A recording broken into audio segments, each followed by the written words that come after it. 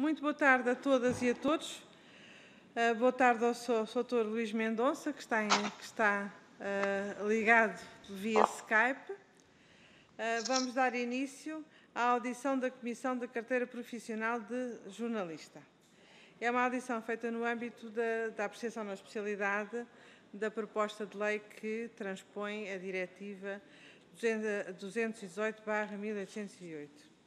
É, é, nós, esta já é a nossa quinta ou sexta, uh, ou talvez menos. Bom, já, já temos estado o dia todo de ontem e hoje, todo o dia, a realizar audições e, e, que têm sido muito interessantes e têm dado muito valor acrescentado ao pensamento de cada, de cada um dos grupos parlamentares. Uh, e, de facto, tem-se revelado uma boa, uma, uma boa decisão da parte da Comissão fazermos audições para além de, das audições que fizemos por escrito e a audição pública que fizemos, também realizar estas audições em que se pode questionar os autores dos pareceres sobre aspectos concretos que os, a Comissão gostaria de ver, ou, ou melhor, os deputados e os grupos parlamentares gostariam de ver uh, esclarecido. É uma agenda, é, é uma, uma, é uma grelha muito simples. O Sr. Luís Mendonça terá seus cinco minutos iniciais para fazer, para fazer uma intervenção sobre o que entender, sobre os aspectos que considera mais críticos, ou melhores, ou piores, ou, ou incompletos, ou errados da, da, da PPL que circulou. Uh, e, portanto, e depois, seguidamente, cada grupo parlamentar terá, terá, numa primeira ronda, cinco minutos, seguidos de uma resposta de cinco minutos por parte do, do, do Dr. Luís Mendonça, e depois uma segunda ronda em que já são, esses cinco minutos estão reduzidos para três minutos. Passo então a palavra ao Sr. Luís Mendonça, agradecendo, agradecendo, a disponibilidade para interagir conosco, com a Comissão de Cultura e Comunicação, uh, e tem a palavra assim que, assim que quiser e puder. Muito obrigada.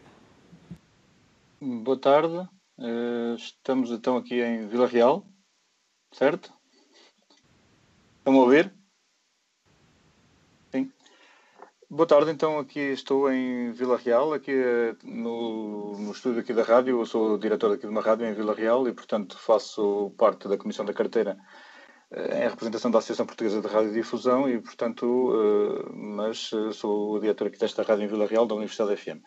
Bom, nós analisamos, o, quando, vocês, quando nos foi feito um pedido para um contributo, a Comissão da Carteira eh, fez uma análise e considerou, de certa forma, três situações que achávamos que poderíamos uh, ajudar, uh, portanto, uh, ajudar a enriquecer esta, esta proposta. Os, estes três pontos que nós assinalamos na altura foram a promoção e a produção de difusão de obras portuguesas, e aprofundamento da equidade concorrencial, especialmente no item sobre comunicações comerciais audiovisuais.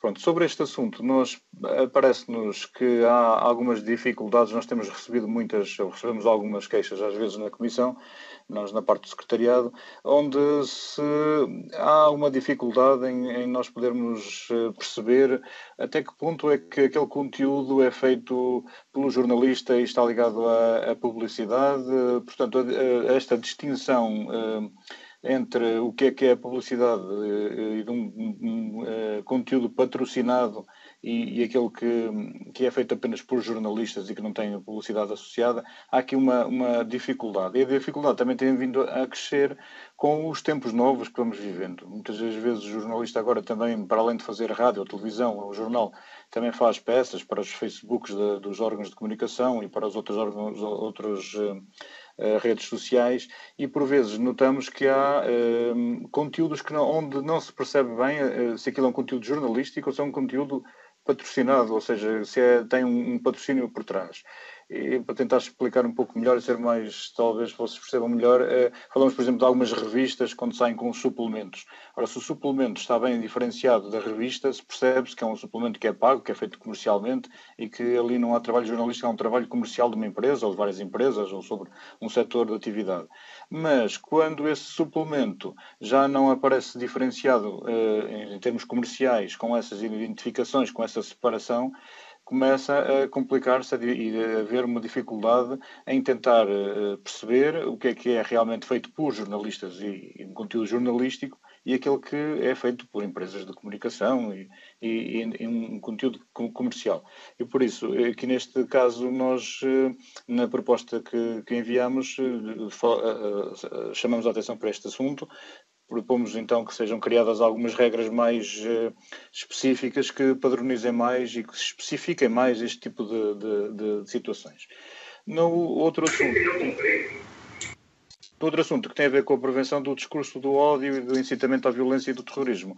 É evidente que neste momento também é um dos assuntos que está muito em moda e nós também temos tido realmente algumas situações que nos têm chegado à Comissão da Carteira de algumas situações que são um pouco para lá daquilo que de, de, deveriam ser. Uh, há próprios uh, jornalistas, nós aqui temos que defender os nossos jornalistas, mas também há alguns que às vezes, se calhar, imbuídos num próprio calor do momento ou por, por, convicções até pessoais, acabam por também se ser um pouco mais do que aquilo que de, dizer um pouco mais daquilo que deveriam. E nós não encontramos nós enquanto comissão da carteira não temos neste momento um, uh, documentação que nos permita uh, temos fazermos uma avaliação e dizemos isto está bem isto está mal. Nós não conseguimos não temos. A, a legislação existente nesta área também não é muito limitada, não é muito, não, não dirige rápido, uh, facilmente para nós podermos dali tirar uma, uma, uma, decisão de que houve aqui um, um, ilícito ou não houve, ou uma coisa que aconteceu que o, a pessoa fez que não deveria ter feito, não conseguimos também uh, balizar. E por isso propunhamos também que houvesse uma, uma definição mais clara nomeadamente no número 2 do, do artigo 14 do Estatuto de Jornalista, para fazer essa, essa definição. Por último, uh, no terceiro, ou linha C, a definição de órgão de informação jornalística. Esta é uma outra questão que também tem surgido várias vezes, em que há uma grande dificuldade em tentar-se chegar a, um, a, uma ideia de, uh, com estes todos novos órgãos que têm surgido, principalmente através da internet, um, mas não só. Há muitos que estão a surgir na internet só como sites de internet, como órgãos de comunicação, mas depois também há outros que são as revistas, são coisas mais especializadas em que também nós temos muita dificuldade, às vezes, em tentar perceber se aquilo é um conteúdo jornalístico feito por jornalistas ou se é feito por empresas de comunicação ou são press releases que são enviados por, por, por empresas um, que pretendem divulgar as suas marcas, os seus, os seus, uh, seus produtos. Uh, e até que ponto é que os jornalistas estão ali envolvidos ou não, uh, que não poderiam, não deveriam estar. Nós, é o que nós tentamos fazer vincar, não é? Que, que haja aqui uma diferenciação. Uma coisa é ser jornalista e se fazer um conteúdo jornalístico, outra coisa é fazer um conteúdo publicitário, comercial, e então deveriam ser bem diferenciadas. E no, nós notamos que há uma grande mistura neste, neste momento. A ERC, nós temos falado várias vezes com a entidade reguladora e eles também têm esta noção de que há ali, uma, há ali umas fronteiras que são muito passadas de um lado para o outro e que não há neste momento, se calhar, um, instrumentos suficientes para destrinçar o que é uma coisa e outra. Eh, seriam estes três assuntos que nós analisamos e que enviamos na nossa proposta de, de contributo. E não sei Obrigada. se disse no início, mas agradeço, agradeço o convite que nos fizeram, claro. Muito obrigada, uh, Luís, Luís Mendonça. Vamos agora iniciar a primeira ronda. Vou passar a palavra à deputada Rosário Gamboa, do Grupo Parlamentar do Partido Socialista.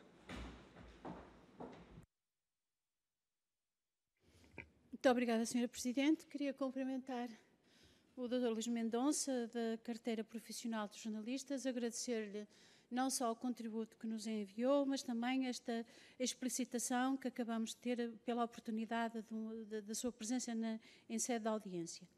De facto, eh, eh, as preocupações que nos fizeram chegar eh, estão sintetizadas naquilo que acabou de dizer. Eu julgo que há aqui duas ordens de valores que eu gostava de evidenciar. A primeira, no que diz respeito àquilo que eh, a carteira profissional de jornalistas considera, que é o facto, não só no âmbito dos espaços jornalísticos e audiovisuais, mas no fundo em todo o campo do jornalismo, existir uma certa indefinição ou mesmo aquilo que consideram algum vazio legislativo sobre os chamados conteúdos patrocinados das peças jornalísticas. Aquilo que o Sr. Doutor há bocadinho referiu, que pode-se concretizar não só nos suplementos, como noutras informações, inclusivamente, eh, muitas vezes, em próprios programas televisivos, onde isso não aparece, há algum conteúdo patrocinado, onde isso não aparece de forma explícita e absolutamente clara. Eh, também a carteira nos diz que que tem tentado trabalhar com a diretiva da ERC, a diretiva 1 de 2009, mas que consideram que ainda há aqui alguma dificuldade de interpretação e aplicação. E, e por isso propõe-nos que, que, que haja aqui uma melhor clarificação de regras.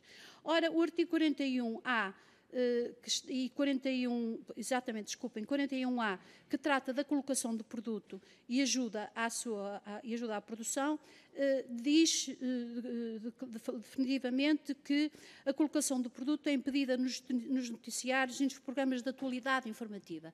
Eu, eu pedia-lhe que, que, se calhar, teria alguma importância, se entende que a sua preocupação pode estar mais explícita no artigo 41A, que nos fizessem chegar alguma sugestão nesse sentido, porque nos parece que, por exemplo, muitas vezes eu própria, como ouvinte, me deparo com programas televisivos que têm naturalmente um cunho, eh, digamos, de, de, de, mais comercial e que de facto não há uma transparência clara, de forma a aparecer no alto do ecrã alguma referência que se trata de publicidade, quer seja em conteúdos jornalísticos e até diria que às vezes até excedem os conteúdos jornalísticos, nem sempre isso aparece e, e parece-me que uma das questões que os senhores falam, que é o dever de transparência associado ao conteúdo que é patrocinado, era algo que, no que diz respeito eh, à colocação do produto, devia estar devidamente vincado e, ainda que esteja eh, na PPL, se calhar merecia ser um pouco mais densificado, um pouco mais explícito. Depois eh, tem outras duas questões que o Sr. Doutor acabou de elencar há pouco e parece-me que, ainda que sejam questões muito relevantes, que já não são no âmbito da diretiva, como os senhores uh, uh, também o definem. Eh, porque, de facto, eh, eh, ainda que a diretiva tenha várias rúbricas e seja um dos pontos fortes da mesma, no caso da prevenção de discursos de ódio, do incitamento à violência, do terrorismo, ou mesmo em relação às crianças e, e aquilo que pode não contribuir para o seu correto desenvolvimento, o certo é que os senhores falam de uma questão que é mais de natureza deontológica, isto é, o próprio jornalista utilizar na sua forma de comunicação, expressões que possam incitar à violência, ao ódio, e os senhores também o dizem, e bem, e julgo que bem, pelo menos na minha interpretação, que isso estaria muito mais, eh, seria importante ser mais explícito no Estatuto de Jornalista, inclusivamente referem a possibilidade do número 2 do, 14, do, do artigo 14, desculpem, do mesmo Estatuto, ser um pouco mais explícita naquilo que diz respeito à deontologia de um jornalista como profissional, eh, que não pode, de maneira nenhuma, eh, ser alguém que também ele é um incentivador, um veiculador do discurso de ódio. Em relação à proliferação dos órgãos de comunicação social eh, que obtêm registro na ERC, mas quando não existem jornalistas, isto é uma questão antiga que nos tem vindo também a ser eh, muitas vezes colocada. Ainda ontem, eh, a Associação Portuguesa de Imprensa, eh, o senhor João Paulo Palmeiro contava uma história que já, contei, já tem contado várias vezes, de um, de um, episódio em que alguém se inscreve e nem sequer é jornalista, era, era uma senhora que tentava inscrever o marido numa atividade de recreio para ele e de repente aparece registado na ERC. Ora, eh, nós entendemos que, que, que, este assunto merece toda a atenção e cuidado, é uma preocupação muito legítima. Eh, temos algumas dúvidas sobre a sua inserção no âmbito da diretiva. Eh, a lei da TV, no seu artigo 37, refere que os programas de serviços televisivos nos jornalistas devem ser assegurados por jornalistas. Também há referências ao próprio Conselho de Redação e à participação de jornalistas, mas penso que aquilo que falam, que é o próprio registro de uma, de uma entidade de comunicação social na IERC, que isto não, não dirá tanto respeito à diretiva, mas de maneira nenhuma é um assunto menor. É um assunto da máxima relevância e que devia ser encarado uh, de uma forma muito séria. E por isso nós agradecemos esse contributo. Mas também agradecemos uh, a sua eventual reflexão acerca da colocação eh, e da melhor precisão destes aspectos, eh, provavelmente noutro local. Eu gostava de ouvir a sua opinião acerca disto, ou não só a sua, mas da, da Comissão da Carteira Profissional de Jornalistas, acerca deste assunto, porque de facto é um assunto muito, muito relevante. Muito obrigada, Sra. Presidente. Terminei. Muito obrigada, Sra. Deputada. Ainda bem que terminou, porque só ultrapassou um minutinho o tempo disponível. Vou agora passar novamente a palavra ao Luís Mendonça para uh, fazer a sua intervenção, favor.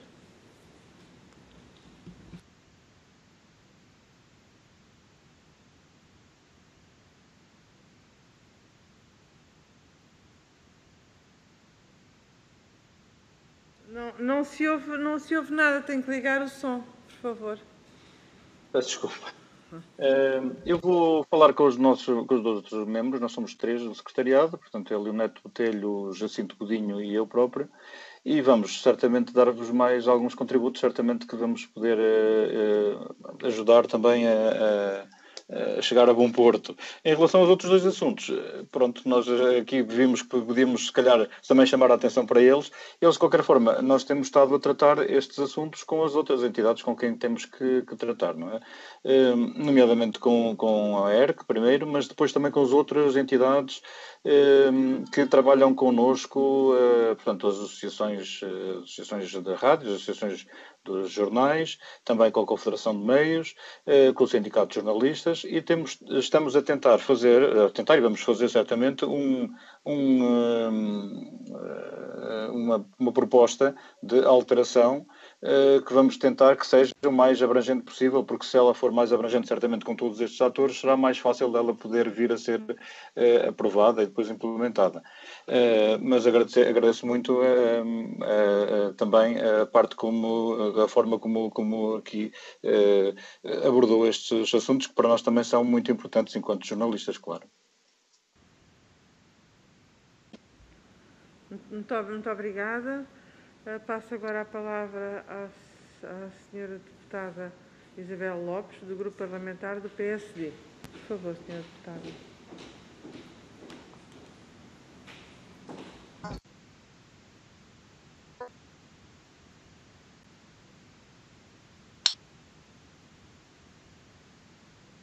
Peço desculpa. Vou começar então de novo.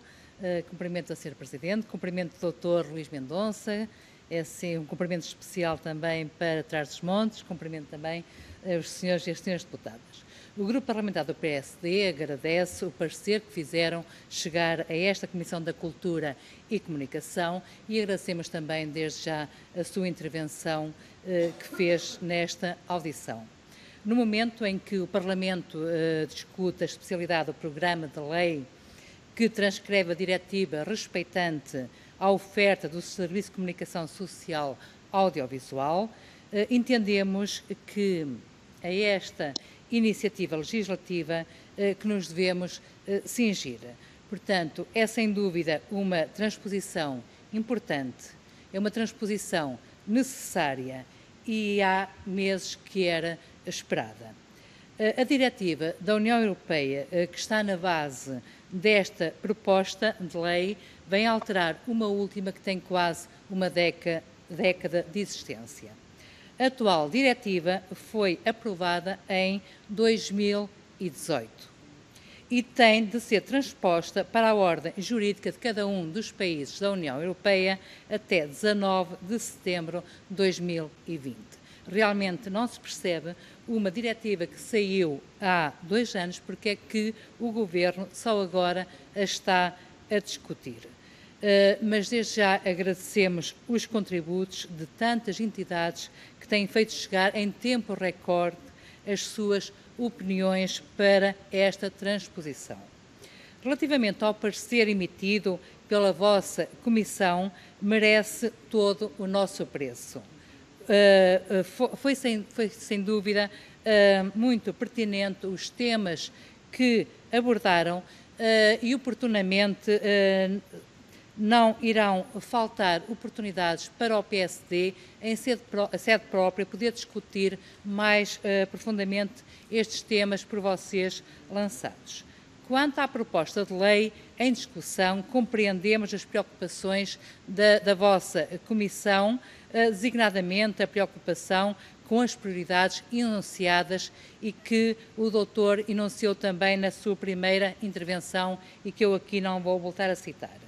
Gostaríamos realmente uh, de saber a vossa opinião sobre alterações efetivamente a introduzir nesta legislatura. Realmente falaram vários temas, mas alguns estão realmente à margem desta diretiva e desta transposição. Portanto, aguardamos, se fosse possível, e se assim o entenderem, um contributo mais específico e contamos então com a vossa ajuda. Muito obrigada. Muito, muito obrigada, muito obrigada, Sra. Deputada. Passo então novamente a palavra ao, ao Dr. Luís Mendonça, uh, que julgo que está. Tem a palavra então, se faz favor.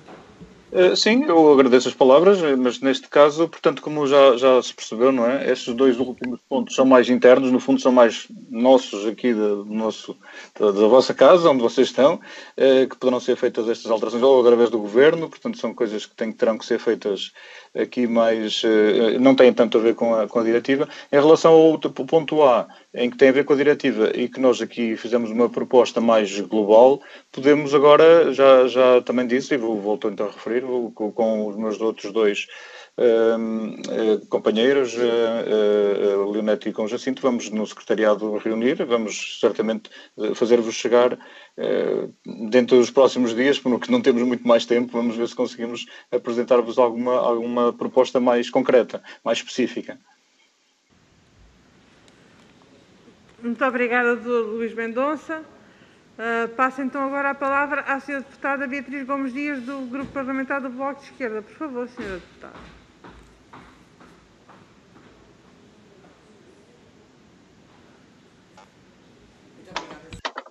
Ligar.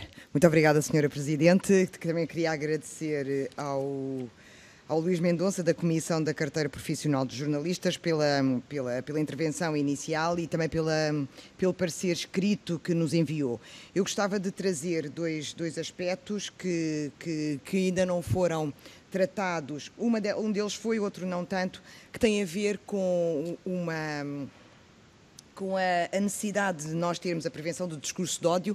Eh, eu aí discordo uh, da, da, intervenção que, o, que, a, que a deputada Rosário Gamboa fez do PS, no sentido em que eu considero que a produção de conteúdos que depois são disponibilizados, muitas vezes esses próprios conteúdos veiculam e, e proporcionam o discurso de ódio e, portanto, os jornalistas ou outros, outros intervenientes que produzem esses conteúdos devem ter essa preocupação. E acho bastante relevante que isso, que é uma das, das, das dimensões da diretiva que nós estamos a transpor, também seja alvo da nossa discussão aqui para aqueles que produzem conteúdos que são que condicionam bastante a visão que nós temos do mundo e que também permitem tornar realidade algumas dimensões que não são realidade. Também, por outro lado, uh, reificam preconceitos e visões sobre grupos e sobre, sobre, sobre sujeitos e comunidades, que também muitas vezes essas visões, esses preconceitos não correspondem à realidade e é muito importante que nós pensemos como é que isso depois contribui para um, um, um uma violência, muitas vezes real ou violência simbólica, que é cometida sobre determinadas comunidades e sobre determinadas pessoas. Portanto, isso é importante e é também um dos aspectos fundamentais da discussão que nós temos que ter quando estamos a pensar na transposição desta, desta diretiva e em conteúdos audiovisuais, quer sejam. Hum, conteúdos que estão uh, uh, em plataformas de, de, streaming, quer sejam conteúdos que estão em, em, televisões ou então nos nossos ecrãs, de, quer seja no Facebook e noutras, noutros, noutros, noutras plataformas, mas que depois são, são um, ehm, os assistidos através de ecrãs. Isto é um aspecto muito importante para a promoção, para a prevenção do discurso de ódio e também para a prevenção da violência e do terrorismo. Portanto, a produção de conteúdos é um aspecto fundamental que vocês, que na sua intervenção inicial uh, eu acho que não abordou, mas que está na vossa, na vossa, no vosso parecer que enviaram, que tem a ver com o, o registro de órgãos de comunicação social na IERC que funcionam sem jornalistas profissionais e que às vezes nos seus quadros tem apenas um diretor equiparado e, outros, e alguns colaboradores. Isto é uma preocupação que está no vosso parecer que eu gostava que desenvolvesse um bocado mais. Mas também gostava que desenvolvesse o que tem sido a vossa reflexão relativamente à produção de notícias falsas, ou seja, à desinformação e à, e à disseminação de notícias que são um, inequivocamente com conteúdos falsos, que depois condicionam a, a, tomada de decisão, condicionam também a percepção que nós temos do mundo e isso também vai acabar por modelar.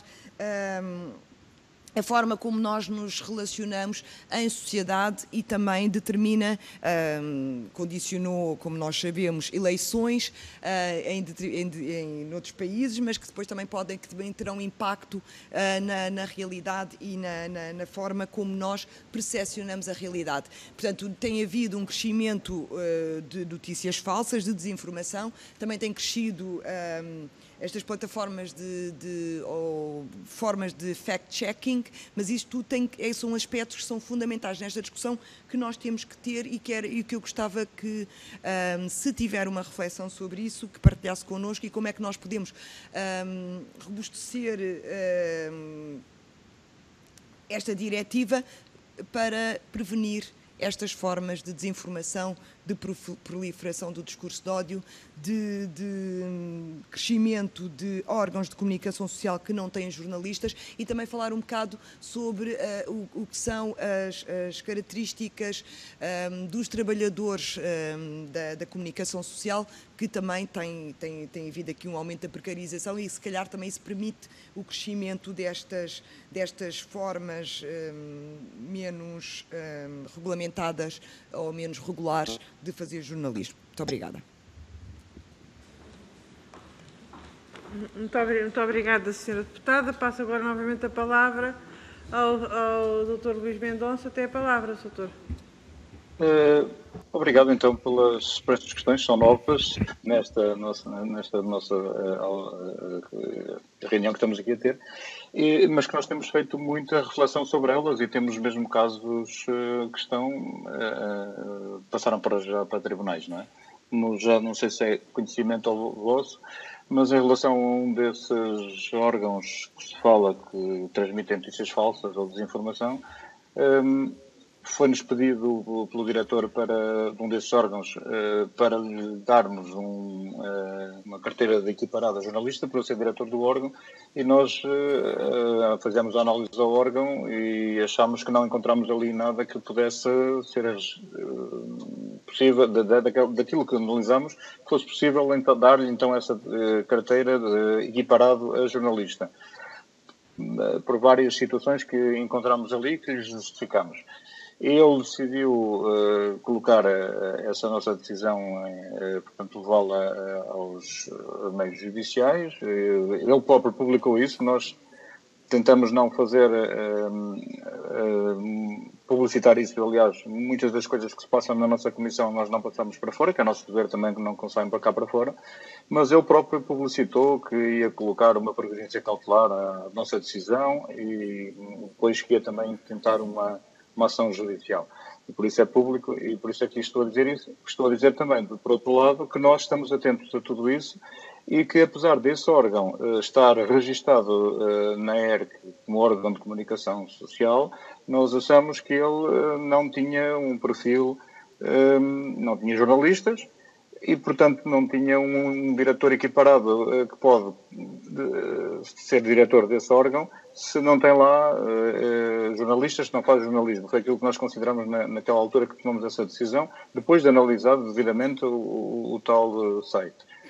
Uh, e esta é uma das relações que temos estado a fazer e que estão realmente no terreno. Neste momento houve um, uma queixa, nós respondemos a providência cautelar não foi dado provimento, mas entretanto uh, isto continua e vai continuar e nós vamos continuar a defender dentro daquilo que existe dentro neste momento eh, na nossa legislação. Uh, que não é muito favorável à, nossa Comissão da Carteira. Portanto, apesar disso, nós temos tentado manter aqui uma linha. Uh, esse é um dos assuntos uh, em relação a notícias falsas, desinformação, e temos estado a acompanhar. Relativamente à ERC, é isso que estava, já vem daí também esta ideia, que é muitas das publicações chegam até nós porque já estão registadas na ERC, como órgãos de comunicação. Um, agora, quando chegam nós, eles depois acham que é só chegar ali, pedir uma carteira de jornalista, uma de equiparado, e nós estamos ali como um, uma empresa, uma, uma empresa que está ali apenas com um carimbo para certificar, não é? E é isso que nós não temos feito. Nós temos decidido de acordo com o órgão e com aquilo que faz. Pedimos para nos enviarem, eh, os, os, se forem revistas, os últimos números, se forem ordens de comunicação em termos de rádio ou televisão é mais fácil, mas eh, se for sites, vamos ao site e consultamos. Estamos ali durante o tempo que for necessário para tentar perceber se aquilo tem conteúdos, são feitos por jornalistas, quem faz os conteúdos, são apenas replicações de notícias, que é o que acontece muitas vezes, e depois alguns artigos de opinião de algumas pessoas, e nesses casos, normalmente, e muitas das vezes, quando não conseguimos encontrar ali eh, o tal objeto jornalístico, eh, não atribuímos. Depois há esta possibilidade. As pessoas podem se queixar porque supostas, eh, alicerçadas na, na, na, na, lei existente, há ali algumas dificuldades em tentar perceber o que é ou não. É por isso nós dizemos que uh, devia haver uh, uma legislação mais clarificadora. Em relação à, à, precarização, isso tem acontecido de uma forma muito grande a partir da pandemia. Nós temos tido, os jornalistas têm tido uma grande dificuldade em chegar às fontes eh, as fontes passaram a estar muito longínquas com esta ideia da, da pandemia. Nós vemos que, por exemplo, e para não haver dúvida nenhuma, é a nossa seleção nacional. Os jornalistas não têm diretamente contato com a seleção nacional. A seleção nacional disponibiliza os jogadores que lhe apetece, publica os vídeos e, e das entrevistas que quer, feitas pelas pessoas que estão lá a, da seleção, e envia aquilo para, para os órgãos de comunicação.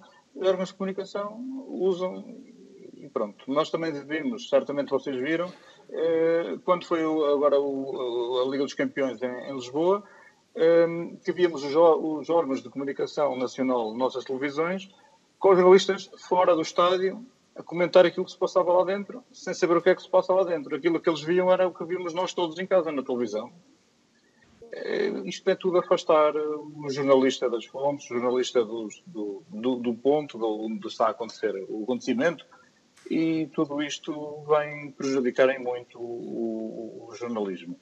Outro ponto que a deputada falou e tem toda a razão é que eh, cada vez temos mais dificuldades. Eu também sou diretor aqui de um órgão, aliás, sou diretor de dois, de uma rádio e de um jornal, aqui em Vila Real, e estou com as mesmas dificuldades, tanto na rádio como no jornal. Não temos dinheiro, há menos uh, publicidade uh, e temos que continuar a pagar às pessoas que aqui estão. O que é, o que, é que nos resta? É que essas pessoas cada vez uh, vão ter mais dificuldade nós não conseguimos tê-los todas dos nossos órgãos. Vamos ter que dispensar alguém.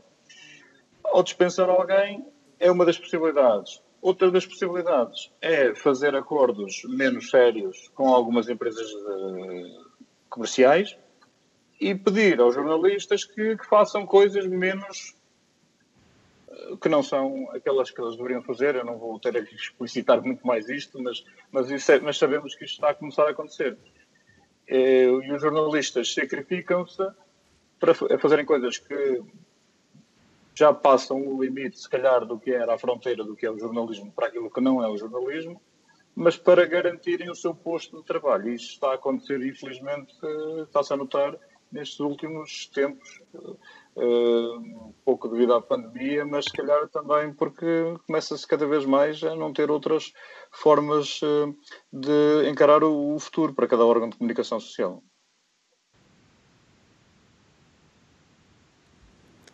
Muito, obrigada, Sr. Doutor. Uh, a Sra. Doutora, a, perdão, a Senhora Deputada, também é a Doutora, a Senhora Deputada Rosário Gamboa pediu a palavra para a defesa da honra. Faz favor, Sr. Deputada. Defesa da honra. Sr. Presidente, eu tenho a maior o preço estima por a Sra. Deputada Beatriz Gomes Dias. Maior o preço estima. Até por a sua postura durante toda esta comissão, a sua cordialidade, a sua forma eh, muito agradável de estar e de se dirigir aos outros. No entanto, no entanto, eu tenho que, que fazer aqui a defesa da honra, dizendo-lhe que interpretou muito mal as minhas palavras. Primeiro, eh, eh, a prevenção de discursos de ódio, incitamento à violência e ao terrorismo, e eu até acrescentei o desenvolvimento das crianças, são matéria nuclear desta diretiva. Estão devidamente expressas em vários artigos. E, e isto é uma matéria também nuclear, de princípio para o PS e, perdoa-me, para mim própria, como pessoa. Por isso, nunca, não, só um segundo, nunca, nunca isso ficou em causa. O que nós aqui referimos foi que a questão deontológica, que é uma questão estritamente deontológica, e como a própria carteira do sindicato chama, é uma questão do Estatuto do Jornalista. E essa deve estar, de novo, especificada no Estatuto do Jornalista, em particular no número 14, no número 2 do artigo 14. Já não é defesa da honra, Sra. Deputada. Não, só acrescentar. Muito obrigada. Muito obrigada. Bom, agora não vai defender a honra da defesa da honra, pois não? Eh, eu gostaria que confirmassem se eh, abdicam de, da segunda ronda. Muito bem. Uh, o Sr. Luís Mendonça, uh, os grupos parlamentares presentes. Ah, temos então, pois é, a senhora deputada não veio, não se veio apresentar aqui na frente, mas temos mais o, peço, peço desculpa, mas temos mais uma, uma intervenção da senhora deputada Diana Ferreira uh, do Grupo Parlamentar do Partido Comunista Português, que se aproxima exatamente, já está no, no, no palco. Muito obrigada. Muito obrigada, uh, Senhora Presidente. Cumprimento a Senhora Presidente, os senhores deputados desta Comissão e nesta primeira reunião presencial também um, desejar a todos um bom regresso aos trabalhos parlamentares uh, nestes tempos próximos.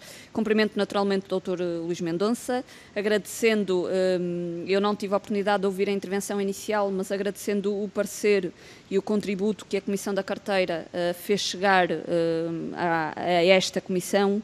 Um, no que se refere à transposição um, da Diretiva da União Europeia. Há algumas observações sobre esta diretiva que o PCP teve a oportunidade de fazer a quando da sua discussão uh, em plenário. Eu abordava aqui uma questão que penso que não, não foi abordada, não identifiquei no vosso uh, contributo, mas que não sei se têm ou não alguma reflexão sobre a matéria e se tivessem era importante que depois pudessem também transmitir que se pretende, até porque esta diretiva não está desligada do mercado único digital, com a questão da proteção uh, em torno dos direitos de autor. E coloca a questão dos direitos de autor dos jornalistas, que muitas vezes não é uh, falada na discussão mais geral dos direitos de autor e dos direitos conexos, e nós, eh, não acompanhando aqui um conjunto de matérias em relação ao mercado único digital, achando até que ele não protege os direitos de autor, ehm, não garante sequer também ehm, liberdade criativa nem liberdade de imprensa, eu não sei se há alguma reflexão que a carteira tenha feito relativamente à questão dos direitos de autor dos jornalistas, nomeadamente no que se refere também à transposição desta diretiva. E se houver, entretanto, também alguma reflexão ou alguma um, ideia ou proposta que tenham sobre esta matéria, que pedia também que fizessem chegar uh, à Assembleia e à Comissão, que penso que pode ser útil também para a reflexão dos grupos parlamentares.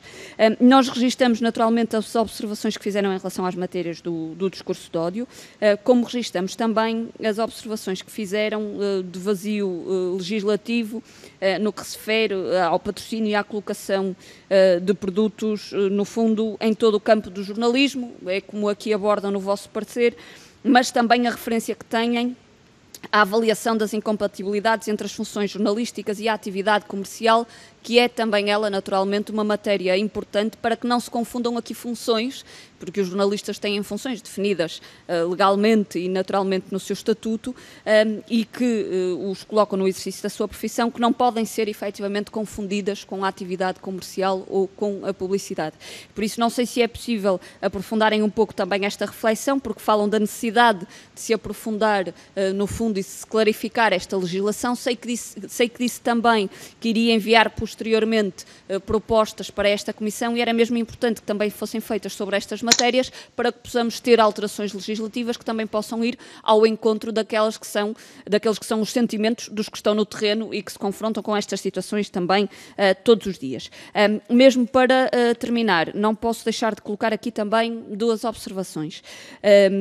A observação que aqui colocam, e, e, é uma preocupação que nós partilhamos, sobre a proliferação de órgãos de comunicação social com o registro na ERC, mas que funcionam sem jornalistas profissionais e que transmitem supostamente informação, mas que muitas vezes, e, e pergunto se esta também é a reflexão que têm, é também a existência destes órgãos, eh, muitas vezes que não têm jornalistas profissionais, que são também eles, eh, se são ou não, eh, um contributo na disseminação de notícias falsas, desinformação, de manipulação de informação e até na disseminação da mentira se bem que não isentamos aqui, naturalmente, como dissemos várias vezes, órgãos de comunicação social nem redes sociais que também contribuem para esta uh, realidade, mas também perceber uh, a vossa reflexão uh, sobre, sobre isto e já agora colocar aqui uma questão. Já foi aqui falada a questão da precariedade dos trabalhadores da comunicação social, nomeadamente dos jornalistas, algo que juntamos aqui também a realidade dos baixos salários, que é, infelizmente,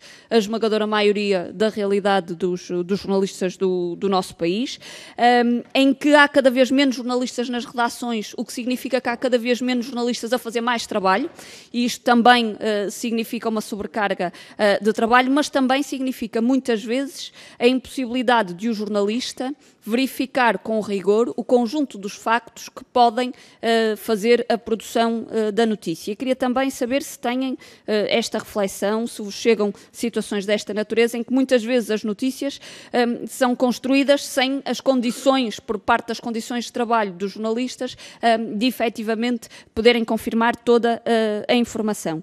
Não queria aqui deixar de colocar e de referir também que na realidade do jornalismo e da comunicação social no nosso país nós temos realidades muito distintas. Temos uma realidade de uma concentração dos órgãos de comunicação social em grupos e temos naturalmente também a realidade da comunicação social local e regional que enfrenta efetivamente obrigada, grandes realidades, mesmo para terminar, e que temos dúvidas uh, que as dificuldades que enfrentam possam ser ultrapassadas com a diretiva e com a transposição da diretiva que o Governo nos apresenta nesta proposta de lei. Muito obrigada.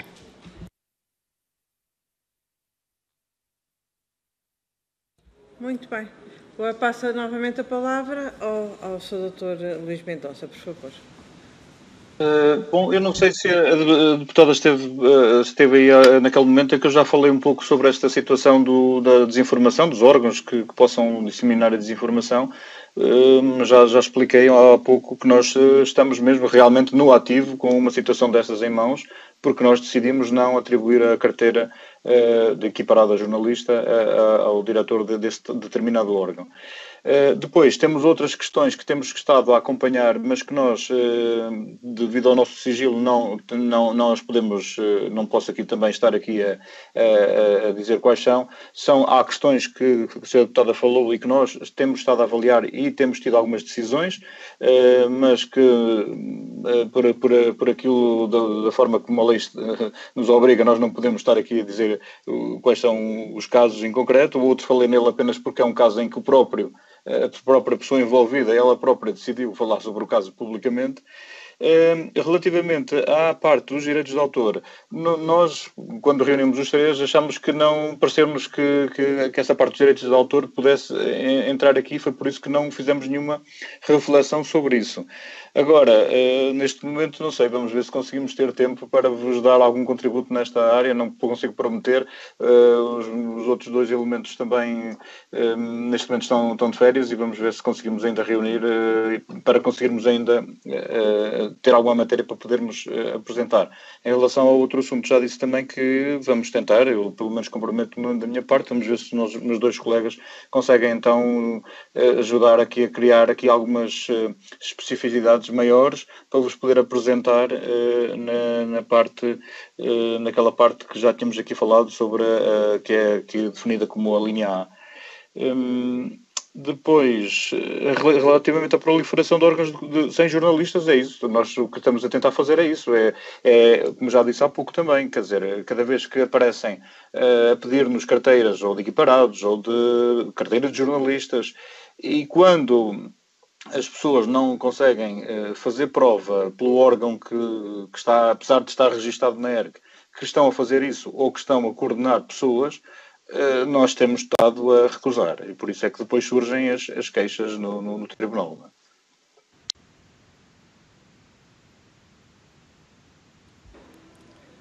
Muito muito, obrigada, uh, Soutor. Coloco então a questão se existe algum grupo parlamentar que queira realizar a segunda ronda. Muito bem. Uh, os grupos parlamentares prescindem da, da segunda ronda, agradecendo mais uma vez ao Sr. Luís Mendonça a disponibilidade não só para, para o envio que já fez, já realizou do parecer escrito, como também estar aqui conosco esta parte da tarde e também, e acima de tudo neste momento, para todos os, os esclarecimentos que venha a prestar, que venham a prestar uh, nos próximos dias, que desde já agradecemos. Uh, muito obrigada, muito obrigada, Soutor. Então, dou por terminada esta audição, pedindo aos senhores deputados que se mantenham ainda mais um pouco presentes na sala. Muito obrigada, Soutor. Até à próxima.